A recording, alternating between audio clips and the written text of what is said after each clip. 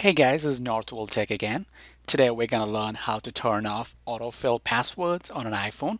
So in order to do that, tap on Settings.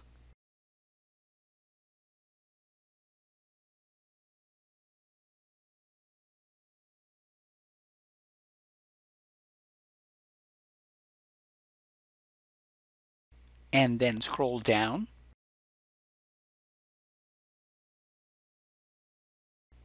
and then tap on Passwords and Accounts.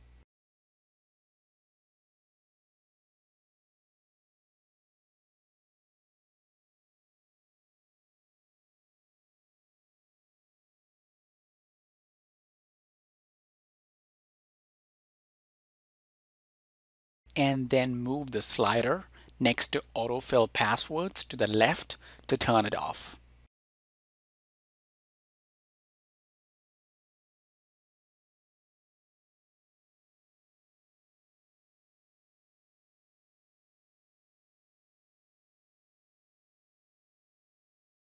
So that is how you turn off autofill passwords on an iPhone.